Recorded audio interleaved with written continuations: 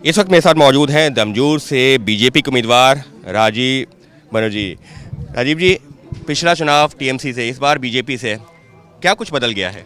देखिए, दल बदले, पताका के रंग बदले, राजीव बनर्जी का कोई बदल नहीं है। डोमजुड़ में ये क्षेत्र को मैं सबसे बढ़िया जानता हूँ।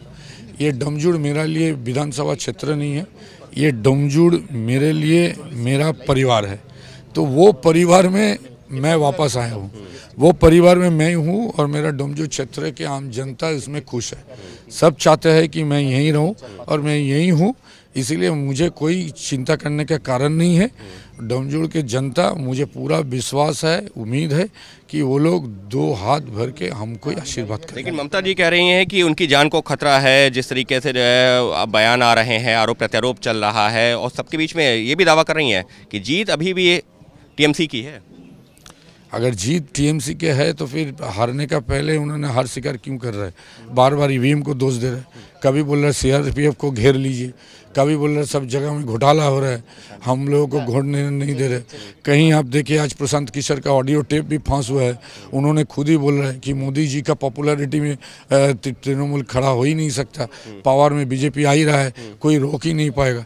तो अभी इतना सोचने का तो ज़रूरत ही नहीं है। बंगाल के जनता तैर कर चुके हैं, और उनके जान का क्या खतरा है? उन्होंने जेट प्लस सिक्योरिटी है। कहीं कुछ कुछ हुआ ही नहीं है। पहले से उन्होंने जान का खतरा बोल रहे हैं। अरे जान का खतरा तो ये इस माहौल में हम लोगों को है।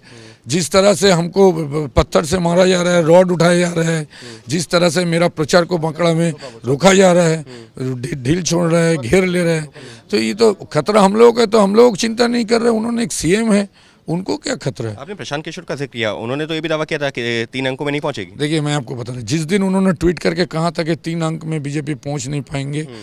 आप देख लीजिए दूसरा चैनल में नेक्स्ट डे मेरा एक सवाल है हम्म। मैंने वहाँ बोले थे चैलेंज करके क्योंकि मैंने भी जब तृणमूल कांग्रेस में थे हम्म। बहुत टाइम प्रशांत किशोर के साथ बैठे थे मेरा भी कुछ वाक्यालाप हुआ था मैंने भी उस टाइम मेरा भी कुछ लॉजिक दिए थे।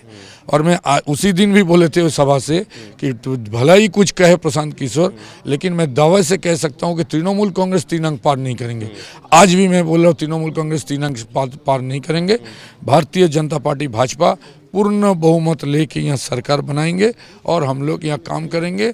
आम जनता हम लोग के ऊपर भरोसा कर रहे हैं। आम जनता हम लोग के ऊपर भरोसा कर रहा है, जीत का सरकार बनाएँगे और अपनी जीत को लेकर के आशान्वित हैं पूरी तरीके से राजीव बनर्जी। राजीव बनर्जी, जो कि ममता बनर्जी के करीबी थे, उसके अलावा जो मंत्री रहे थे, लेकिन जब शुभेंदु अधिकारी जो पार्टी से अलग हुए, टीएमसी से अलग हुए, ममता से अलग हुए तो उसके बाद राजीव बनर्जी भी अलग हुए। और अब उनका ये कहना है कि ममता बनर्जी जो बातें कर रही हैं, ये ये भी दिखा रहा है कि वो खुद अपनी हार स्वीकार कर चुकी हैं।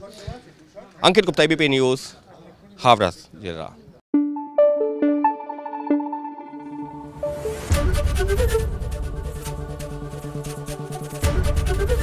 एबीपी न्यूज़ आपको रखे आगे।